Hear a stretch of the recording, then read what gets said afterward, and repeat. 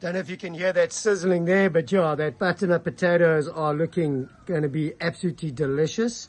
So let's see what's happening over here. Other braais on the go. We've got the rump sausage on there, the wagyu sausage. That's also spectacular, dripping over there.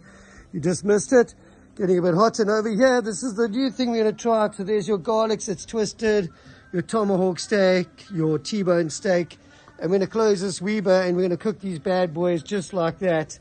Um, yeah, so if it does start to fall over, just grab yourself some skewers, poke them through to the bottom grid, and then look at that, stands up perfectly. So it doesn't matter how your butcher cuts it, whether he messes it up or he's got it right.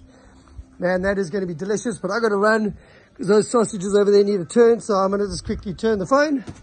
And I'm going to say, guys, hope you guys are having a day like I am. Africa, baby. Hoo-ha. Have a beautiful day. Know you want to see it again, so yes, there it is. Thumbs up, baby. Woo! Gotta love that stuff. Can't wait to taste that. Yeah, baby.